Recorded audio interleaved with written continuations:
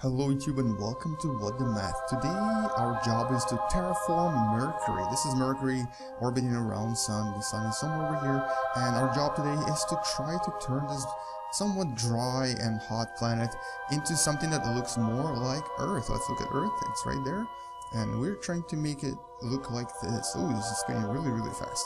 Let's slow down. There we go. This is what we're looking for. Alright, so this is Universe Sandbox 2, and let's see, let's uh, look at some of the uh, physical theories and also some of the ideas that we can use to try to turn Mercury into Earth.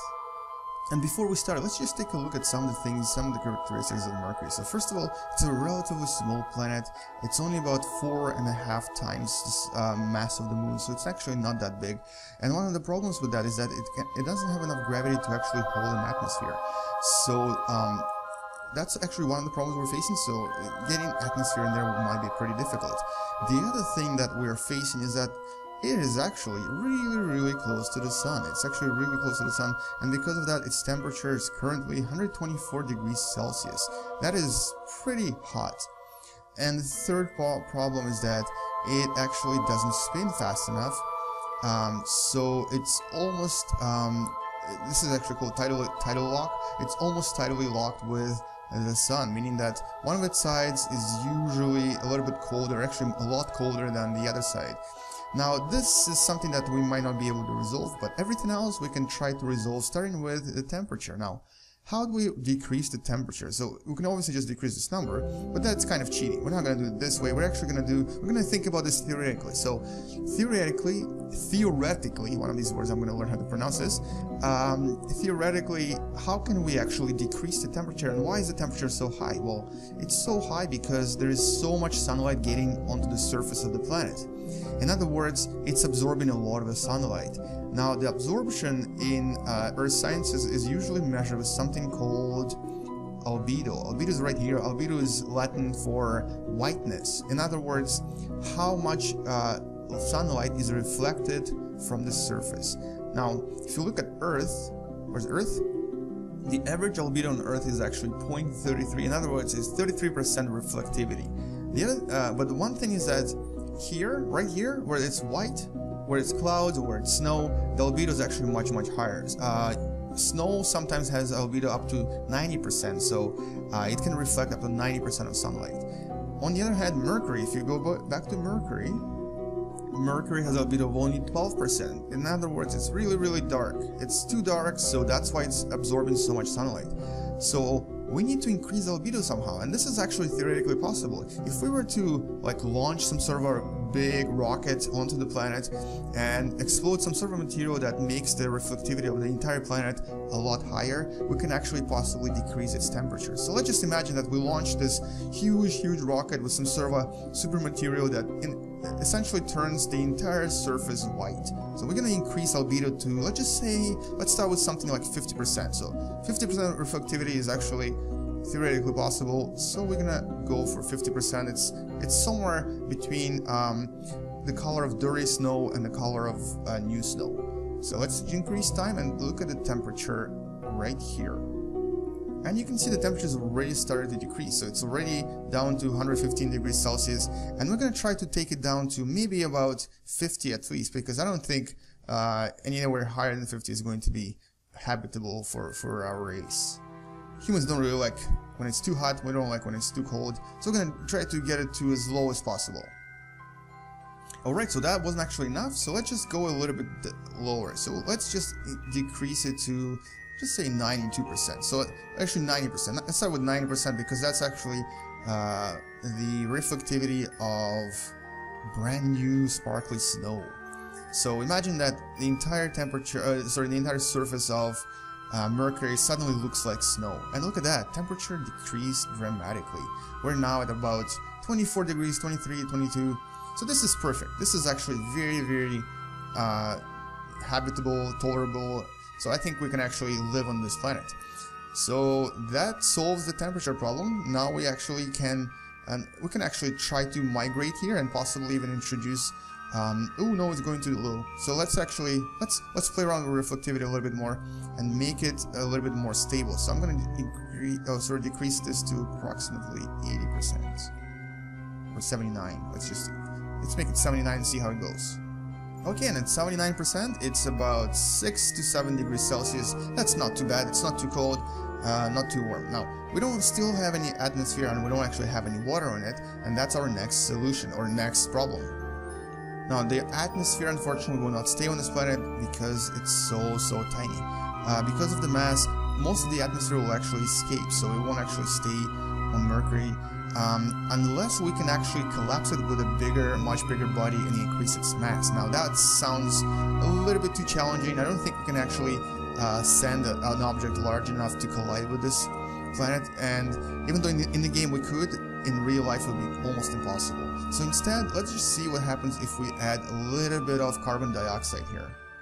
So we've added a little bit of carbon dioxide and it's actually going to be as gas. So let's just have a little bit of atmosphere. This is atmospheric mass right here. Um, and uh, uh, carbon dioxide is actually heavy enough that it might it might actually stay on the surface of um, of Mercury. Oxygen, however, might escape. Uh, so let's keep playing around with this and let's uh, add a little bit more organics. And now here comes the big one. So we need some water. So water might be actually quite difficult to get to Mercury. So uh, what we might be able to do is somehow uh, harvest water from within the planet if it's um, if there is enough material for us to construct water. So for water we need oxygen and hydrogen. Now we might or might not have it inside. We don't actually know what exactly what mercury contains, but let's just assume that there is something to create water, and we are able to construct these machines on the planet that start producing lots and lots of water and eventually we get water on the surface. And here we have our first little lakes that were formed on the planet. We now have atmosphere, but that's mostly because we kind of cheated and we added uh, a little bit of um, carbon dioxide atmosphere, possibly by um, constructing more machines on the surface and possibly just kind of creating carbon dioxide from whatever is available on the planet. Now let's add a little bit more water. Ooh, and look at that. It is now absolutely covered in water. This is just a big blue bowl of water. I think this is actually too much water. I'm gonna go back and decrease the surface a little bit just so there's at least some islands. Maybe a little bit more. There we go. Let's just find the right balance right here between continents and water. And look at that. This is what it looks like. Uh, this is our terraformed Mercury. So essentially this is what it might look like if we are ever able to terraform it. Now unfortunately because of the mass, because the mass is so so tiny, the atmosphere will eventually escape and uh, because there will be no atmosphere no atmospheric pressure there's a very big chance that all of the water will basically evaporate and it will look like it, it was before so um, we don't actually have any surface pressure right here but we should probably have some I'll just say there's going to be point 0.4 or something, 0.4 surface pressure. And but eventually, unfortunately, it will most likely all evaporate, all escape, and look barren again. Now, how do we resolve this barrenness? Well, one way is, like I said before, if we collide this with something big enough so that the mass actually increases. If we can make this mass somewhere between mass of Venus and mass of Mercury, uh, mass of Mars, we can actually possibly um, get this to be an actual functional um, planet where we can actually live. So let's look at Mars for a second. Now this is Mars, this is our next target for the next video where we're going to terraform it. But before we do that, we'll just look at, at its mass. So 8.73 moon mass, meaning that it's 8.73 times the mass of moon. And unfortunately, we know that the atmosphere on Mars is actually very, very thin because most of its atmosphere escaped as well. So we need to have a mass just a little bit more than that. And now let's look at Venus. Venus on the other hand has a um, mass of 66 times the moon, meaning that it's 60 times, 66 times as heavy as the moon or as massive as the moon. So in other words, if we can have something between 66 and 8, we can probably create a planet that can support atmosphere. So what we're going to do next is we're going to take uh, a huge, huge chunk of a planet, or basically just an ob object that is very massive, and then collide it with Mercury until its mass increases. To do this, we're going to use one of the powers here. This is, this is a body factory, and here we can actually choose what we're going to collide with it. So just for fun, let's just uh, start with colliding a moon and increase the mass by uh, just a little bit. So here's our moon, and we're going to smack it right into Mercury. Alright, so that's one moon. Let's do another one. Two moons. Three moons. Four moons. Five moons. So you can see that there's lots of awesome effects here. Planet is boiling hot now. There's no way you can support life. But it will eventually cool down. So let's just go to...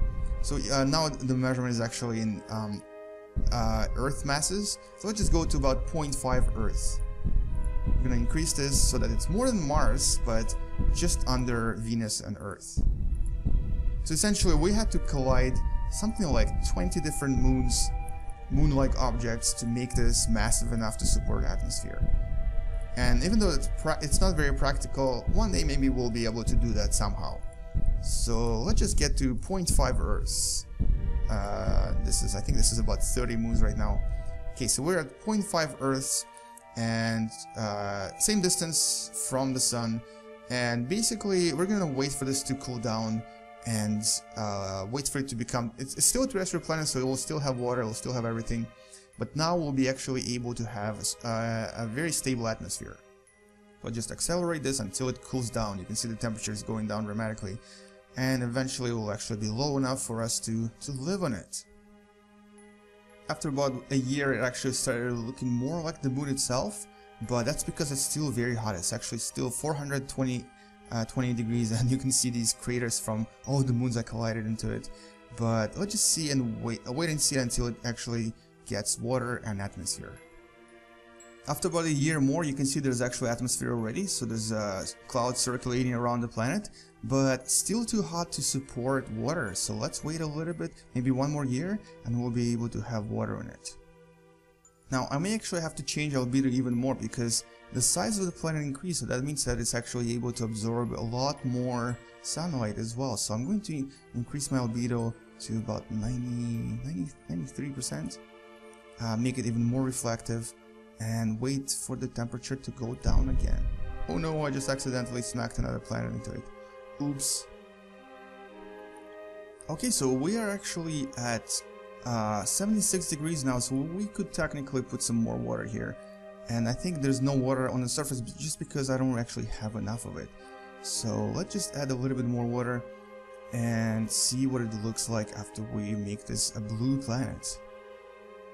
And here we go, at 85% albedo, after about 14 years I was able to stabilize the temperature at approximately 10 degrees Celsius average and you have all this beautiful water, you have clouds, you have atmosphere and somewhat grayish land. Now I think there's actually even ice caps here somewhere.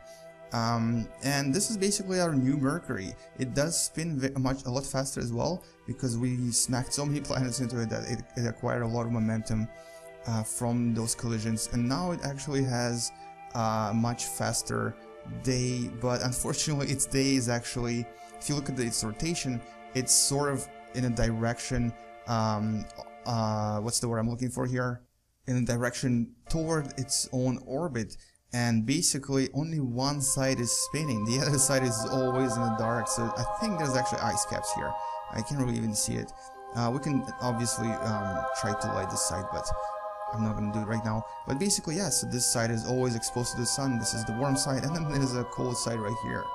But this is basically it. This is basically it. This is a completely terraformed Mercury, much heavier than before, with atmosphere, uh, water, and everything else. Alright, so let, next time we're gonna try to do the same with Mars and Venus. But for now, let's just stop here. Thank you for watching. Please subscribe. Good luck to you, and bye-bye.